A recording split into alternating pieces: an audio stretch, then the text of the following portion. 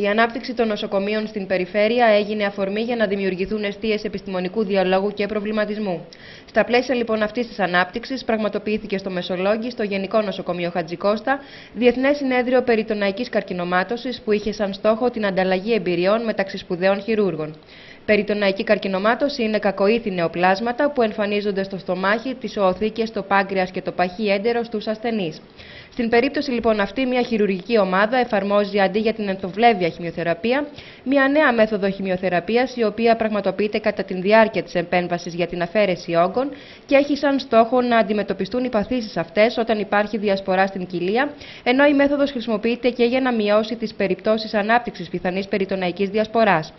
Στο Διεθνές Αυτοσυνέδριο το παρόν έδωσαν λέκτορες από την Θράκη, τη Θεσσαλονίκη, την Κρήτη και την Αθήνα, ενώ θα πρέπει να σημειωθεί πως τέτοιες επεμβάσεις γίνονται μόνο στο Διδημότυχο και στο Μεσολόγγι, καθώς δύο είναι μόνο οι Έλληνες επιστήμονες που εκπαιδεύτηκαν ανάλογα στις Ηνωμένες Πολιτείες της Αμερικής. Οι δύο χειρούργοι που εφαρμόζουν αυτή την πρωτοποριακή μέθοδο σε όλη την Ελλάδα είναι ο Ιωάννης Πιλιώτη, διευθυντής της Χειρουργικής Κλινικής στο Γενικό Νοσοκομείο Μεσολογίου, και ο κύριος Τέντε από το Γενικό Νοσοκομείο Διδημότυχου. Είναι ο συνδυασμός μιας μεθόδου που περιλαμβάνει εκτεταμένη χειρουργική στην κοιλιά μαζί με υπέρθερμη ενδοπερτοναϊκή υπέρθερμη χημειοθεραπεία. Είναι μια μέθοδος η οποία εφαρμόζεται στην Ελλάδα τα τελευταία πέντε χρόνια από τρία νοσοκομεία, το Πανεπιστημιακό της Κρήτης, το Νοσοκομείο του Μεσολογίου και το Νοσοκομείο του Δημοτήχου.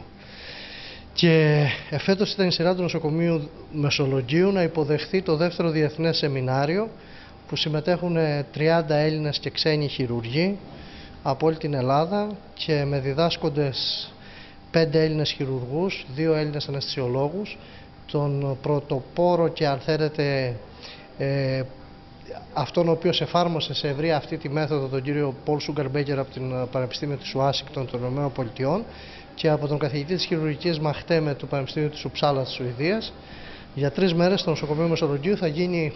στην αγγλική γλώσσα όλα τα μαθήματα, το θεωρητικό κομμάτι. Αύριο θα χειρουργήσουμε εγώ, ο κύριος Σούγκαρμπέγκερ και ο κύριος Μαχτέ με μια ασθενή με ένα πρόβλημα τέτοιο και το Σάββατο πρωί θα συνεχιστεί το θεωρητικό κομμάτι και οι μαθητές έχουν έρθει από όλη την Ελλάδα και από τις Βαλκανικές χώρες και την Κύπρο. Ποιος είναι ο στόχος της μεθόδου που παρουσιάζεται και ποια, τα, ποια η αποτελεσματικότητα; Ο στόχος της μεθόδου είναι σε αρρώστους οι οποίοι έχουν εκτεταμένη και σχεδόν ανεγχείρητη μέθοδο, αν γίνει μια σωστή επιλογή των περιστατικών, μπορεί να τους προσφέρει κανένας μια, ένα προσδόκιμο και μια ελπίδα επιβίωσης που σε αυτούς τους αρρώστους ενώ αρχικά δεν είχε προβλεφθεί παραπάνω από 6 μήνες ανάλογα με το είδος του καρκίνου που έχουν και τη μέθοδο αυτή μπορεί να έχουν μια πενταετή επιβίωση που να ξεκινάει από 10% και να φτάνει στο 30%. Καταλαβαίνετε λοιπόν ότι είναι μια επιλογή που βέβαια θα πρέπει να έχει αυστηρά κριτήρια ποιοι ασθενείς μπορούν να ωφεληθούν γιατί αν δεν υπάρχουν αυστηρά κριτήρια τότε η μέθοδος δεν έχει καθόλου αποτελέσματα.